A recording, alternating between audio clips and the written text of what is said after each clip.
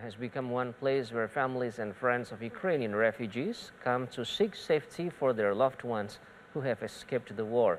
VOA News' Celia Mendoza witnessed these efforts a few meters from the United States port of entry El Chaparral at the San Diego-Tijuana-Mexico border.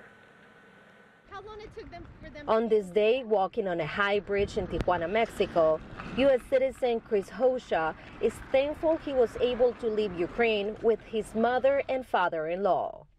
So they left Ukraine five days ago. Um, and so um, that was one of the big parts that we were worried about. Chris Hosha says his family had no choice but to leave after seeing how the war in Ukraine was unfolding. He met his mother and father-in-law in Poland after they managed to flee Ukraine. They took a bus and uh, they were able to get out that way. It was a long bus ride, about a 12 hour bus ride. The couple, who speaks only Ukrainian, arrived with one suitcase. It is a tale like many others at the Tijuana-San Diego border. According to U.S. authorities, nearly 3,000 Ukrainians have entered the U.S. since the war began.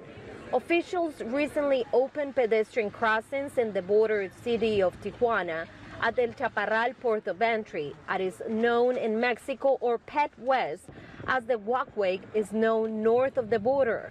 Regardless of the name, the port has been opened solely for processing Ukrainian refugees seeking asylum. The